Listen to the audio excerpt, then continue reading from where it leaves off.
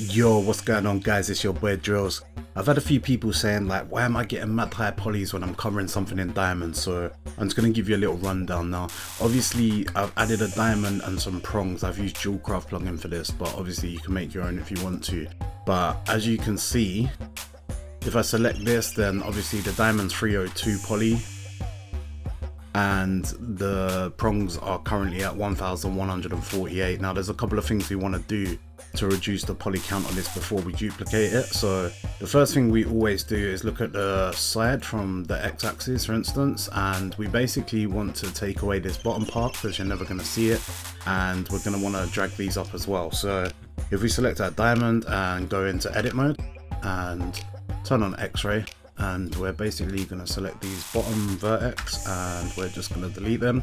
What I then do is try to select these, might have to zoom in a little bit more, just try and get all of them apart from the top layer there and then we're just going to move these down just so that actually our diamond face is not bang on the thing because obviously we want some kind of we want it to look like it's sticking out of the object a little bit. If you don't want it then obviously leave it up but I normally do it like this. Um, and what you can do as well is press F if you want to have a bottom on it. Um, otherwise just off because that's obviously an extra face. Um, so next we're going to need to go back to edit mode uh, sorry object mode. Gonna select our prongs and we're gonna come back into edit mode again and I'm basically just going to make sure x-rays on and I'm just going to bring these up so they're basically matching the bottom. Now we haven't actually removed any polys yet but we just want to, well we've removed a little bit from there but nothing major um, so we just want to come back into object mode and we're going to work on our decimation. Um, so first we're going to do the actual prongs themselves. So what we're going to be doing is looking at it from this type of angle. Now you got to bear in mind when you're going to see this diamond it's going to be like this big. Do you know what I mean? So you're not going to see a lot of this detail here. Um, so we're going to decimate these a reasonable amount and we're gonna obviously add the decimate modifier. Now hit triangulate first. We've got 578 polys. We can obviously drag this down. You will see because we've triangulated that this this is actually to be higher. So we actually want to bring this right down. And obviously you're to lose shape. Um, you don't want them to look like that. But to be honest if they look like this it's not actually that deep. When you look at it from a distance you're not going to tell the difference. Like you really cannot tell me that you're going to see a diamond that big and be able to tell that those polys look like that okay? So it's absolutely fine to have them really low. You could go lower but let's just leave it like that for this one. So I'm just going to go ahead and apply that and then the same thing for the diamond. We're not gonna need to decimate this as much. The polys aren't as high. So we're gonna generate decimate and we're gonna do the same thing again. We're gonna triangulate and we're basically just going to bring this down a little bit. We're going to lose some faces. Again, you've got to think like you're going to be looking at this from a far away. You're not going to be looking at this close inside GTA. So you've got to kind of be relative for think about how big your diamond's going to be in game. Is it going to be that big? Are you going to have them massive and that big? Either way, it doesn't really matter because this doesn't look too bad for what it is um, at this type of level. If you use that here and they're really tiny, you're not going to see it at all. So yeah, for me, that's absolutely fine.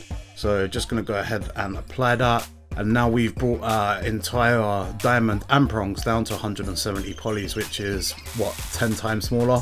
Um, now, before we join them together, we are going to UV edit them because otherwise you'll have a nightmare when it comes to texturing. So even if you're gonna create a different texture later on, you're still better to UV edit these now. So what I would actually do is if we can just select the diamond itself and then go into obviously into edit mode select all and we're going to do cube projection for this one. And you can actually just move that off to the side um, just in case you project anything else here and you don't want it there once they're joined together. And then we're just going to come back select these go back into edit mode and just basically do the same thing. We're going to cube project those we're going to take them and we're going to drag them down here and then yep if we select all now you can see when we're ready to build our texture we've got them island away from each other so obviously you're not going to want your prongs to be the same material as your diamond so obviously we can move them around as we need to so yeah um, that's pretty much it now obviously when it comes to duplicating um, there are many ways that you can do this. Obviously, we show some ways in Premium that are a bit more efficient, but for the most part, most people are just creating arrays. Um, so once they've been UV mapped, I'm just going to go ahead and join them together.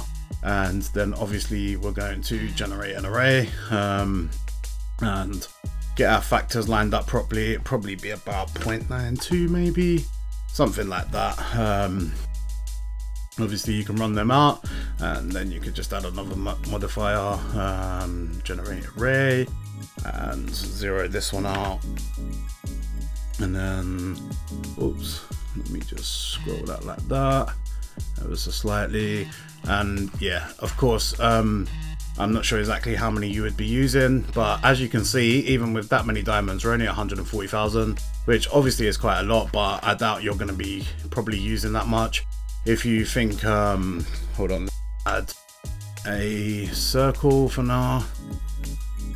Yeah, if you, these are obviously way big at the moment, but let me just say this circle was your pendant, um, and we, let's move it into here a bit, let's move it up so we can actually see it.